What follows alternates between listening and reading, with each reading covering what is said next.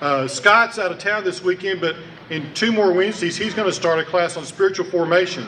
A lot of you were so interested in the breath prayer and the other kind of prayers that I did in the sermon that he's going to teach a class that goes through different ways of doing spiritual formation in your life and prayer, and then you'll you'll learn about it, but also practice it during the class. And so uh, everybody will get a chance to to learn about the prayer or learn about the way of doing spiritual formation and then practicing it. And don't forget Gail's class. If you've never done a disciple class, Gail's class is the, my favorite disciple class. Does Genesis, Exodus, Luke, and Acts. And uh, it's a really, really exciting class. On the office side of things, uh, we've got our new phone system in, but it's still going through our old server, which messes it up sometimes. On next Thursday, we go straight over to the cloud, which is um, remote based computing, which means our system should run a whole lot better. Uh, so, thank you, trustees, for getting that together for us. And um, soon and very soon, you'll be able to call up to the office when we're not here and hear a message that says if you want the pastor, dial this, if you want the secretary, and all those kind of things. And you can actually leave real life voicemail. So, we're going to get into the 1990s within about two weeks. Okay? Uh, we're really going to get there. Don't forget that we've redone the playground, right? We put pea gravel over in the garden. We're looking at some other things for the garden. Uh, we're doing all kinds of work on our facilities pretty much all the time. Some of the project, other projects we're looking at, they're coming up, are lighting in our sanctuary. Our old dimmer system, as you can well tell by the lights going on and off during worship, is going out. So we're looking at that. We're looking at re redoing some parts of our sound system. So the trustees are always busy. If you'd like to help them out with anything or you have expertise in an area, please let Frank know because they can use the help. There's just a few of them and they do really, really, really good job. The Arredondos make a difference in our church, don't they? Amen. I, I, tell you, I've eaten lunch with uh, them a couple of times, and it's always a great thing to do if you have time on those Wednesdays, right? To go eat lunch and do planning for the garden, all that. And if you've never been out in the garden, gotten dirty, it's a lot of fun. But I do want to tell you, I think she missed something in the, in the whole presentation, and that is we're going to have a worm ranch, not a worm farm, because uh, we want to be able to herd those worms, right? Um, I want to let you know a few things. Uh, I think that the Pastor Parish Relations Committee has done an incredible job of getting us some new staff members. And that's one of them is Brian, who, who does things wrong and gets, gets people to join our church.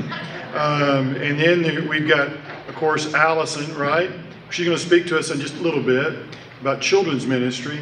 But we also have um, Brenda, and who's keeping our bathrooms and kitchens up to snuff and, and in good shape. And, and that was one of the smartest things I think we've done in a really long time in making sure that stuff got done. So thank our staff, pat them on the back. Friends, I have some great people to work with at this church, and they make me look good, and that is their job description. Make the pastor look better, right? So uh, thank you for doing your jobs because I feel like a, a million dollars because of the staff we have. Don't forget, tell your Sunday school class to start gathering candy in October for trunk or treat. Need to start the beginning of October for trunk or treat. I personally gave out over 2,000 pieces of candy, one piece per kid, last year at trunk or treat. 2,000 pieces. That's one at a time. It was a blast. I tell you, it was just so much fun. Um, who else? If you want to get a word in, um, go ahead, choir. Fall Fest. Fall Fest is on October 27th. It is the weekend before Trunk or Treat. Uh, but if you if you're thinking about going ahead and getting something ready for Fall Fest to uh, put in a Fall Fest for auction, we'd love for you to do that. I'm going to tell you one thing that's in there that's not going to go to us. I volunteered some money for the uh, Rotary um, um, Pumpkin Run to be a sponsor and get on their T-shirt, to where maybe they'll get on our T-shirt for uh, you know our run to shelter. Uh, but I got some tickets, so we have four tickets to the is it Nokia now? Verizon. I always forget what it's called now. The Verizon any concert you want to go to. So you pick the concert, four tickets, but we're going to give the money back to Rotary to where they can give it away. Maybe to us. Who knows? Maybe to the garden. We gave money to the garden last year. So those are some things that are coming up. How many of you have been on our new web website since Eric got it changed over? I tell you, it's it's incredible. It also has a mobile version if you can do that on your phone, which is really easy to use. The thing that I think is exciting about Eric's ministry, to brag on him in front of him, so you know, is is to say our God moments on Sunday mornings. Haven't those been incredible? And getting all of these things on our website so that if you didn't make it, you can watch a God moment later, you can watch a sermon later. You can, if you go to late service, you can always hear Scott preach. Or if you go to early worship, you can always hear me preach.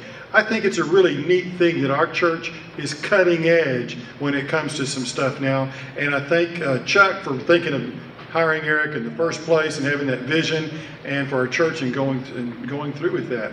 It's it's really making a difference, guys. Um, I think Joyce Elaine's going to say a little bit about. Uh, Sean is here. oh, Sean is here. Oh, here you are. Come on up. Um, while she's coming up, don't forget United Methodist Men meet. They did meet yesterday, but second Saturdays at, uh, at Outlaws uh, Barbecue for breakfast, which isn't barbecue, but it's good.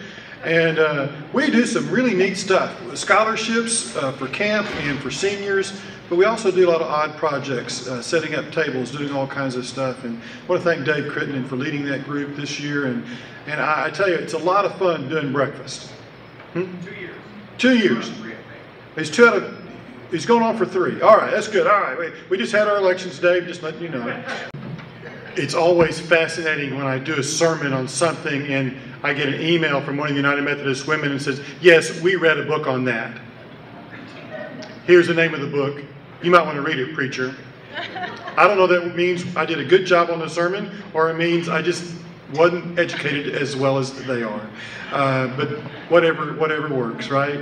I I tell you, our United Methodist women, you don't, if you don't know, they win the district of the conference reading program nearly every year, and they're some of the best read, most intelligent, and informed people that I know in the United Methodist Women. So if you're not a United Methodist woman, I am a United Methodist woman. It, it, says that in the discipline. All pastors are members of the United Methodist Women. So I'm a United Methodist woman. Just want to let y'all know that. Um, but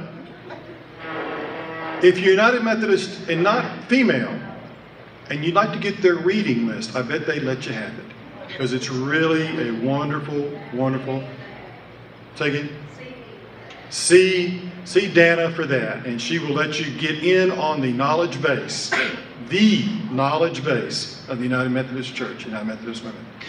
All right, is there anyone else that wishes to inform us about anything? Thank y'all for coming. Thank you for being in on the know. Thank you for wanting to know what's going on at your church. Uh, this will be up on our website. Uh, Eric's going to split it up into different talks, but it'll be up on our website. And if anybody has a question that you didn't feel like uh, got answered, we'll try to figure out a way to do that. But if somebody has a question that you feel like did get answered, send them to the website. They can look it up, listen to this, and they'll know what's going on at the church.